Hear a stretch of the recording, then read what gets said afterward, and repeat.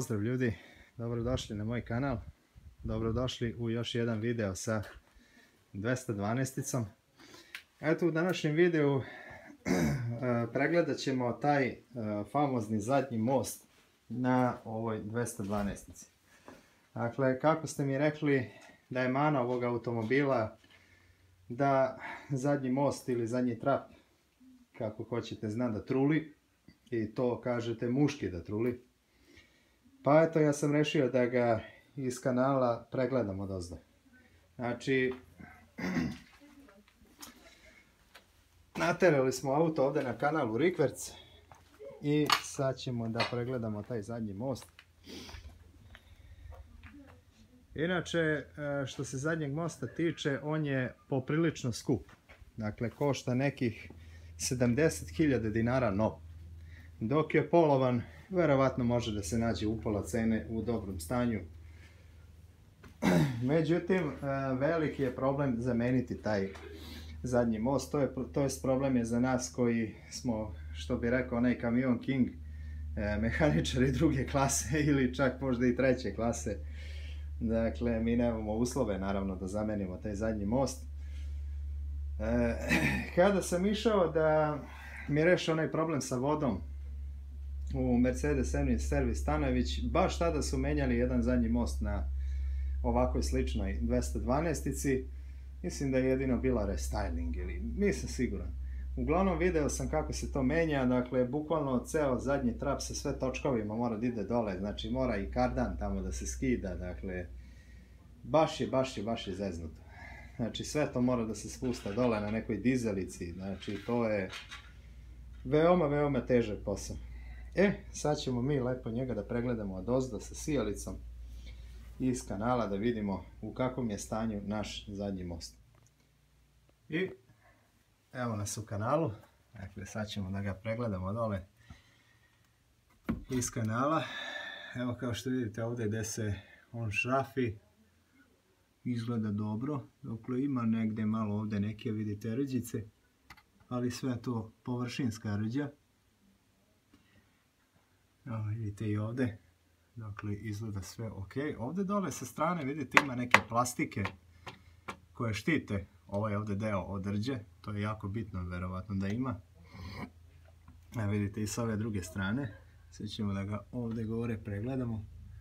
Dakle, evo, isto kao i sa druge strane, dakle, nema tu neke posebne teške korozije, evo i ovamo isto.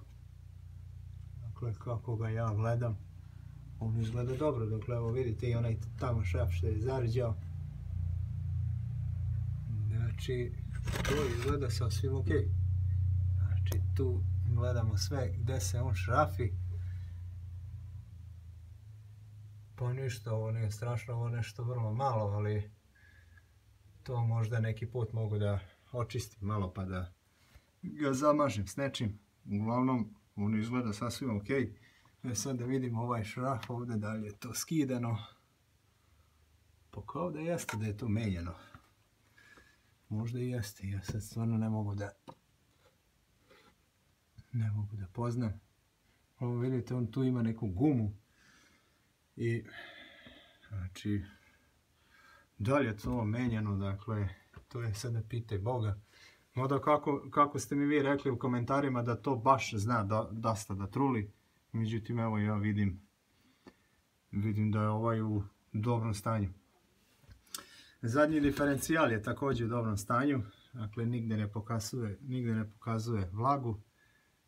Znači, ne vlaži nigde, ne curka ulje. Znači, ovdje, ovdje pozadi odličan. Znači, evo vidite i ovdje da se kači ova šta je ovo neka spona, ruka, rame. Vidite, on je tu zdrav. Znači, to je bitno. Da je menjeno ili nije, ja to zaista sada ne mogu da poznam, evo i sa druge strane. To ste mi rekli da pogledam, to mi je neko, neko u komentarima rekao da pregledam. I da sam pogrešio što to nisam gledao kada sam ga kupovao. Jeste, u pravu ste, ovaj, skupa je to investicija, međutim, evo, ja zaista sada ovdje vidim da je to dobro. Znači da tu nema nikakvih problema. Što da vam kažem, jedino da mi pišete u komentarima neka vaša iskustva. Op, op, vidimo da je... A, vidite, ovaj stabilizator je menjan. Vidite taj, a ovaj drugi. Pa i ovaj izgleda. Mada ovaj mi nekako izgleda novije, kao da je samo ovaj zamenjen. Znači stabilizator je menjan, ali čudi me to se obično menja u paru. Vidite ima tu malo neke rđice, ali nije ovo ništa strašno.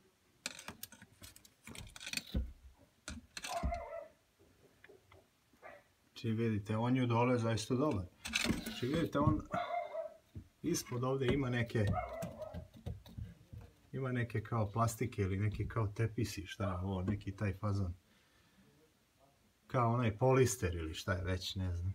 Zaista. Evo vidite da je kardan. Vidite, ova guma je bitna da bude u dobrom stanju, da ne bude ispucana. Jer onda može da stvara one vibracije. Može da se čuje lupkanje. I tamo je sve u redu. Treba da mu postavimo one šusplehe, ali sa prednje strane, ne sa ove. Znači, to je sve dobro. I eto, pregledali smo zadnji most. Znači, one malo rđice što ste vidjeli, to sam ja očistio i zamazao sa nekom zaštitom.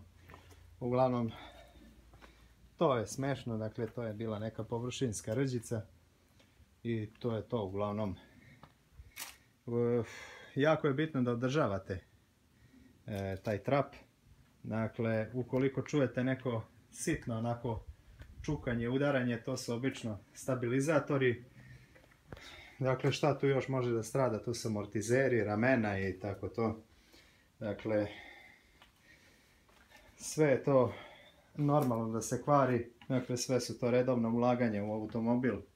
Ništa strašno, ali eto taj zadnji most, kako sam čuo, eto ako istruli, to bude malo skuplja investicija i naravno ne možete to sami da zamenite, već mora neko neki dobar majstor da to zameni. Eto, na primjer, ja sam video taj Mercedes u servisu Stanojević, tamo gdje su baš menjali taj zadnji most. I naravno čak i oni su mi rekli da obratim pažnju na njega. Ovaj, kako ne bi bilo skupih investicija. Eto, dakle, ovo malo rđice što sam ja vidio, ja sam to očistio i zamazao. Uglavnom to je smešno. Ostaje mi da namestim one šusplehe dole. Dakle, falila su dva komada. To sam morao da nabavim. Falili su onaj za motor i falio je onaj jedan za za menjač. Tamo ostali onaj deo. Dakle, sad ću to da vam pokažem. To sam kupio. Kupio sam i šafiće. Naravno, falili su i šafići.